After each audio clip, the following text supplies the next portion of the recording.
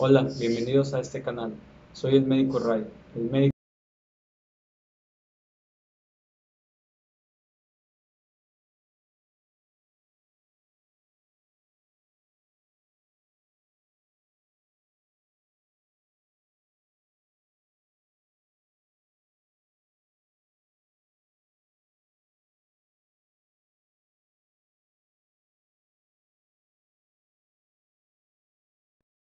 Si tú eres criador de aves de corral ornamental, si tú tienes aves ornamentales de corral como pasatiempo, si tú tienes aves de corral como mascota y si también tienes aves de combate de otro tipo que no he mencionado, espero que estos videos también puedan ayudarte y junto con el criterio de tu médico veterinario puedan también mejorar la calidad de vida de ellos y que también puedan dar su máximo rendimiento.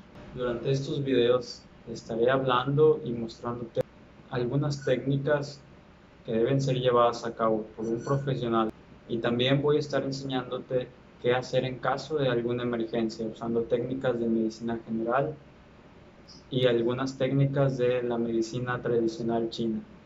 Vamos a comenzar con el primer bloque a lo largo de estos videos que se trata sobre enfermedades de tipo nutricional, normalmente por deficiencia. Antes de empezar a hablar de enfermedades de tipo nutricional, debemos entender qué es una vitamina. Entonces, la palabra vitamina se refiere a un grupo de compuestos químicos que se dividen en liposolubles e hidrosolubles Todas las vitaminas, con excepción de la vitamina C, son indispensables para la dieta de nuestras aves. Una marcada deficiencia de una sola vitamina en la dieta de nuestras aves interrumpe el proceso metabólico, pero en muchos casos una sola enfermedad puede deberse a la deficiencia de uno o varios nutrientes. Comencemos hablando de la vitamina A. La vitamina A resulta indispensable en aquellas dietas avícolas para crecimiento, visión óptima y desarrollo de mucosas, ya que las cubiertas epiteliales de los aparatos digestivo, respiratorio, urinario y genital están compuestos por mucosa. En estos tejidos es donde se observa la mayor cantidad de lesiones cuando tenemos un problema con la deficiencia de vitamina A. ¿Cuáles son aquellos signos que nosotros podemos detectar a causa de esa deficiencia de vitamina A? Primero, en el caso de nuestros pollos o pavos reales adultos, los pollos se llegan a emaciar y a debilitar y las plumas se erizan.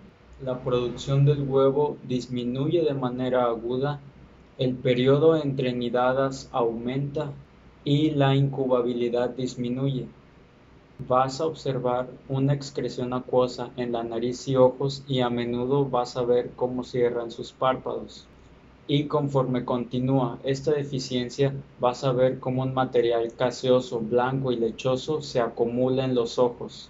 Los ojos se llenan con este exudado a tal grado que les impide ver, a menos que se retire la masa, pero en muchos casos llegan a perder el ojo. Pasa también que a menudo confundimos este signo con alguna enfermedad respiratoria, como algún catarro que sea complicado o como la coriza.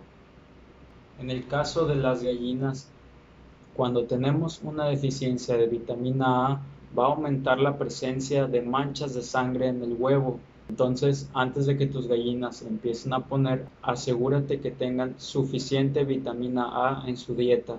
En el caso de reales jóvenes, la deficiencia de vitamina A se caracteriza por el cese de peso, somnolencia, debilidad, incoordinación y ataxia, así como el plumaje erizado. Cuando tenemos un gallo adulto con deficiencia de vitamina A, sus cuentas de espermatozoides descienden, disminuye su motilidad espermática y hay una alta incidencia de espermatozoides anormales. Probablemente estés pensando que tu gallo ya es muy viejo o que tu gallo es estéril. Sin embargo, si puedes corregir su deficiencia de vitamina A, puede ser que este gallo pueda fertilizar los huevos apropiadamente. Ahora hablemos de lo opuesto, no de una deficiencia, sino de una hipervitaminosis A, especialmente para todos aquellos que acostumbren a dar Vitafor diariamente en el agua, ya que si se acumulan más de 200 miligramos por kilo de peso en su organismo, va a resultar un efecto adverso en el desarrollo del esqueleto.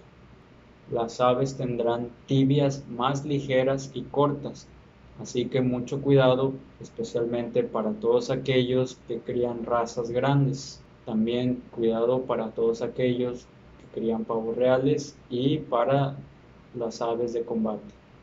Las aves con deficiencia grave de vitamina A deben recibir una preparación estabilizante de vitamina A. Consulta a tu médico veterinario para que en base a la idiosincrasia de tu ave pueda recibir la cantidad correcta de vitamina A. La absorción de la vitamina A es rápida, por lo tanto, si tus aves no se encuentran en un problema grave de deficiencia de vitamina A deben responder con rapidez, excepto por la ceguera, que tal vez sea permanente. Si por ahora has encontrado alguno de estos signos en tus aves, te invito a que vayas con tu veterinario lo más antes posible. Si vives cerca de la costa y tienes acceso al mar y estás pasando por alguno de estos casos, las algas marinas comestibles de uso humano son muy buen aporte de vitamina A para la dieta de nuestras aves. No te sugiero que lo des todos los días, pero puedes usarlas en lo que recibes un tratamiento para corregir la deficiencia de vitamina A por parte de tu médico veterinario. Hay algunos otros productos que también podemos encontrar en farmacias veterinarias o forrajeras, sin embargo, todo esto siempre va a tener que ser bajo la indicación de tu médico veterinario. Estos productos puedes encontrarlos para agua de bebida o inyectados.